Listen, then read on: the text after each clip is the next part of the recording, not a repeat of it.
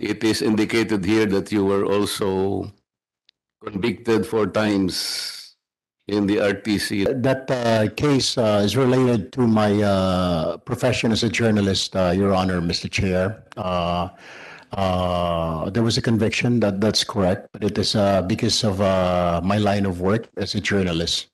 That's, uh, it's a libel, uh, four counts of libel, same individual, uh, Your Honor, Mr. Chair. I was a columnist and I write a story about the person uh, about the government official actually and uh, i have my sources and i was compelled by the court to divulge my sources but i did not so uh, it went all the way up to the court of appeals and to the supreme court uh, your honor mr chair The problem we're trying to um, press out here, Mr. Chair, is whether or not his conviction will be uh, a uh, an issue in the uh, process of confirmation because as the Supreme Court enunciated in several cases, Mr. Chair, um, libel is an offense that involves moral turpitude.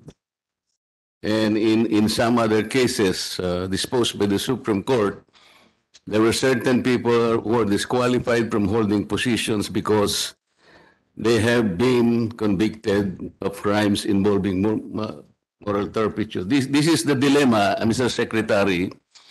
Of course, I am uh, in support of your uh, of your uh, confirmation as Secretary of uh, DSWD, and uh, I believe you have uh, just uh, succeeded in uh, proving to uh, to our people that you are qualified. Uh, but uh, this is a problem that we need to trace out, Mr. Chair. How do we how, how do we dispose this this dilemma before us? Because it is in the report. I could not have asked you this question, Mr. Secretary, if it does not if it did not appear in the report submitted to us by the Commission uh, uh, on Appointments. There are many pending bills, both in the House and in the Senate, to decriminalize um, Libel. libel. In fact, the visit by our own DOJ secretary to the United Nations, that was in fact even suggested by the Canadian representative.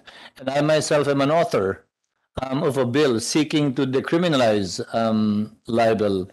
So if this would be taken against the um, nominee, um, and later on, that bill is um, approved by Congress. I think it would be prejudicial, to say the least, and unfair if you would be taking that um, against him. Just for the consideration of the committee, um, Mr. Chairman, when we go into caucus later. Thank you, Mr. Chairman. thank you honorable uh,